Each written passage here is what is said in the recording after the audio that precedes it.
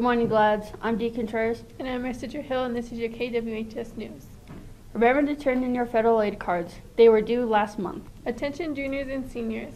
College visits this month are coming to a close.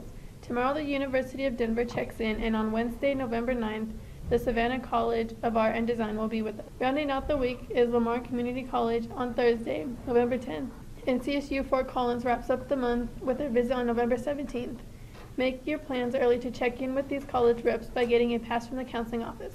Congratulations to the winners who got the chance to cut Mr. Sickmiller and Mr. Cummings' hair. All the proceeds raised from this event will be used to fill the 180 Club Thanksgiving basket. Time to find out what we're having for lunch. Miss Betsy? Good morning. It's Monday. Oh my goodness. I hope you enjoyed your extra hour that you got this weekend.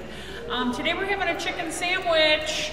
So come down and see us. And tomorrow, beef and bean burritos. We make them ourselves. So come on down. They're really tasty. Thanks and have a great day. Bye. Oh, that sounds really good. I'm hungry already. Seniors, filling out your FAFSA forms just got easier. Next week, Widefield High School is hosting the Parent Financial Aid and FAFSA night on Tuesday night at 6 p.m. on November 15th. It will be here in the library. PPCC is bringing in experts to help us navigate the FAFSA process. Bring tax information to maximize this opportunity. If you have any questions, contact Mr. Hall in the Counseling Center at this number or by email. The Gladiators present The Giver, a story about a boy stuck in a strange world where the government controls everything.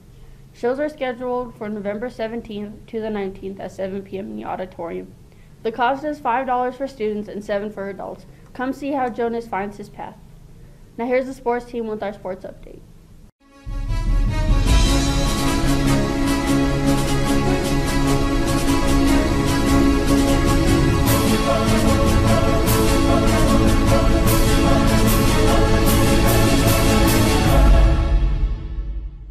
Morning, Glads. I'm Dylan Ham, And I'm Elijah Clark. and this is your Gladiator Sports Update. If you missed the boys' basketball meeting last week, please see Mr. Munoz for details. Glads, if you're planning to play winter sport, please stop by the main office to get a yellow card, or get a physical packet if you haven't filled one out yet. Winter sports practices start on November 11th. Finally, Glads, the last football game of the season was Friday night at Pueblo West Cyclone Stadium, and the Glads put up a fight but fell to the Cyclones in their regular season finale. I'm Dylan Ham. And I'm Elijah Clark. Have a great Monday. Now, back to Dee and Marissa.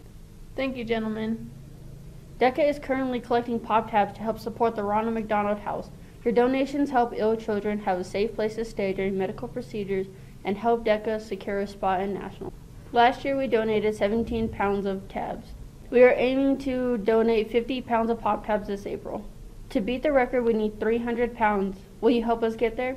Uh, drop off your donations in Miss Hilda Brent's mailbox or in room 159. Glads, are you in the club?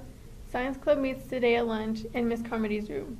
Welding Club meets after school in the metal shop. On Tuesdays, club meeting at lunch includes sophomore council in the magazine room, Rex's Rowdies in room 5. After lunch, Ultimate Frisbee on the fields, and Sewing Club in room 163. Finally, remember tomorrow's election day. If you are registered to vote, please do so. Every vote counts. That's all we have for you today, Glads. Have a great weekday, Glads. I'm Dee Contreras. And I'm Mr. Hill. This was your KWHS News. I just wanna stay in the sun where I find. I know it's hard sometimes